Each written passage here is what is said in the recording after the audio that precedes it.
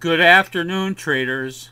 It is Friday, June 28th, 2024, and the U.S. stock market is closed.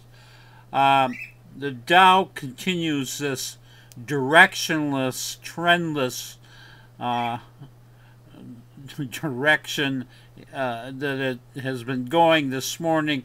It opened up uh, looked like maybe it was going to go higher and then it reverses itself and downward pressure all day long. And then at the very end a little push back ended up closing down 45 points. But again it's it, you know from close to close to close it's hardly changing at all.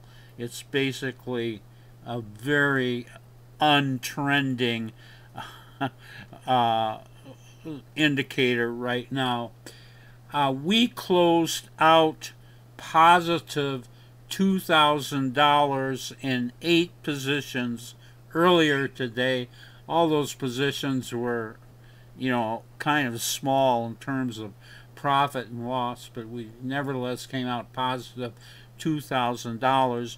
We did much better for what we got into. We are carrying positive $20,000 in nine positions uh, going over the weekend and into next Monday. So that looks real good. I'm going to show you our two best trades. Uh, both of them were a little frustrating, but I will show those to you. And this first one is P O E T, Poet, Poet Technologies.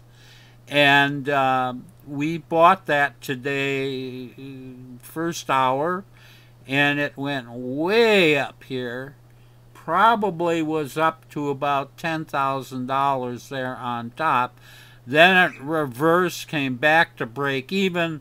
Then it went back up, and then it came back, and then it uh, rallied a little there on the close. We're holding positive $4,000 in Poet Technologies. And then our most profitable trade, but it is also a little frustrating. This is NNE, which is Nano Nuclear Energy Incorporated. And this this thing actually it opened negative and then the first hour really pushed hard and up there we got a buy right there and um, at first didn't look like it was going to go anywhere and then it started building here and up here on top that thing's probably up about $15,000. Doesn't look like it on the chart, but we, you know, it, it's just the way it is. And then it also pulled back toward the end, but regardless, even with the pullback, we're up uh, $8,000 in uh, Nano Nuclear Energy Incorporated. So we have two good trades there potentially much better trades. Let's hope they gap up or push up right at the beginning of the day tomorrow. Uh, tomorrow. Tomorrow's Saturday. On Monday. Okay? You guys have a great weekend, and I will be back here on Monday trading as usual.